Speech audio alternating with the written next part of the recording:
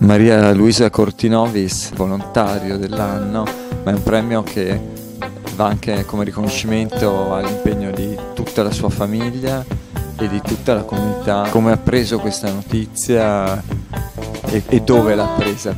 Eravamo in giro quel giorno lì e quindi è corso subito ad annunciare a tutti abbiamo vinto, abbiamo vinto, perché il premio noi l'abbiamo impostato non per Maria Luisa Cortinovis, ma per la Troncal, per il San Gabriele.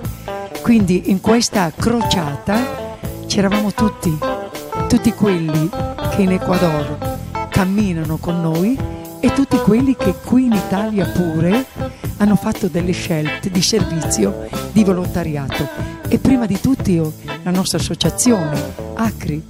Quindi è stata la gioia del servizio nostra, della comunità gabrielina e dell'Acri e di tutti i volontari della Foxy. Per lei concretamente cosa significa cingere il grembiule per i fratelli? Vivere la quotidianità con loro, darsi a loro e permettere a loro di dare. Questa nostra presenza là è una presenza di cammino insieme.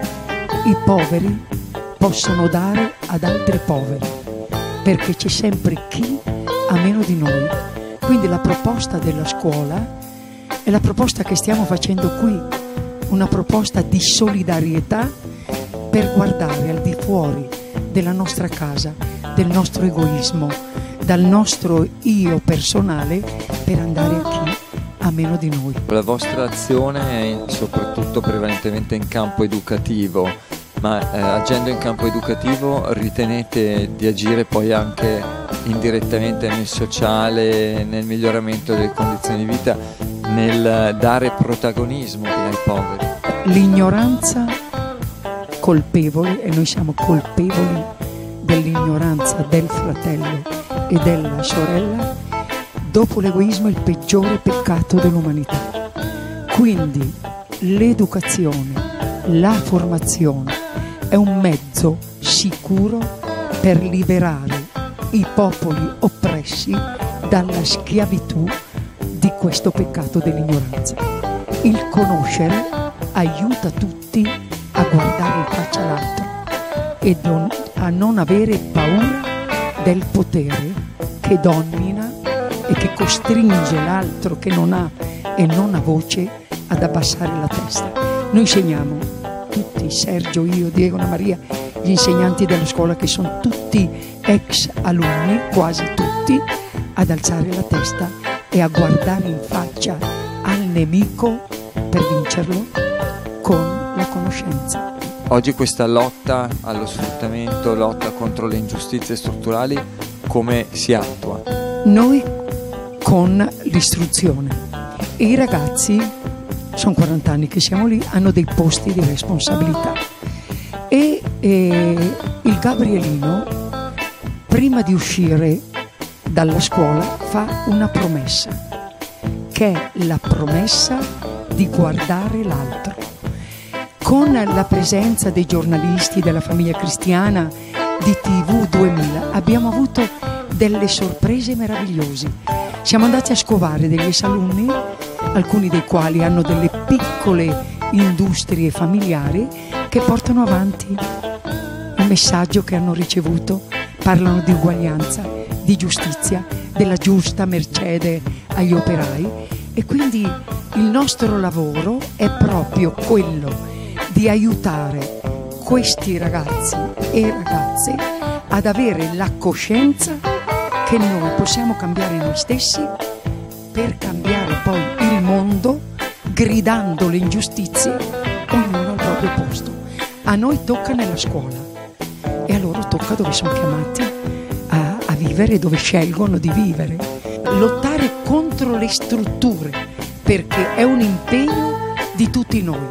Noi alla Troncal con l'educazione, l'Acri qui a Trento e ognuno di noi con le nostre capacità ed il posto che occupiamo nella responsabilità, il lavoro che facciamo e le possibilità che dobbiamo cercarci. Non dobbiamo aver paura a dire, a parlare. e attaccare il male ed il peccato dell'egoismo. Il Papa ricordava ogni giorno la necessità di trovare il tempo per l'incontro personale con Dio nella preghiera.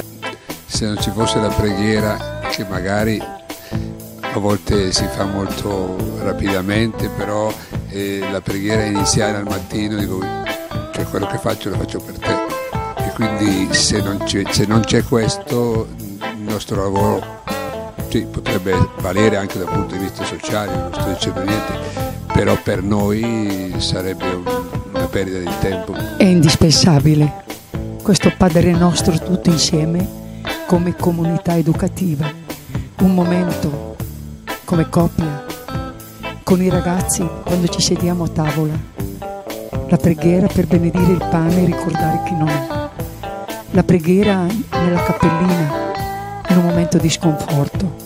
Abbiamo questa cappellina con il Santissimo, ecco lì l'incontro con Lui che dà la forza, l'energia e quando tace ci mettiamo un po' così forti, gli diciamo dove sei?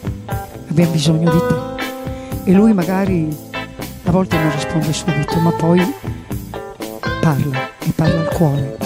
Bisogna avere dei momenti di silenzio interiore, di deserto, per lasciare dire a lui ciò di cui abbiamo bisogno e tutto poi si affronta diversamente. Per i prossimi 40 anni alla Troncal qual è l'augurio che vi fate reciprocamente?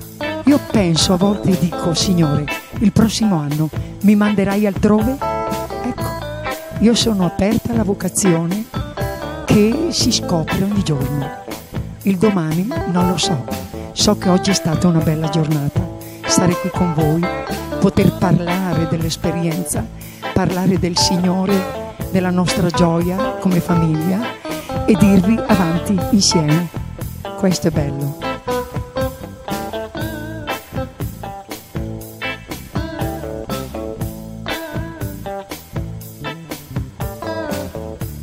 Purtroppo credo, credo che dovremmo forse finire la storia alla tronca. Alla tronca.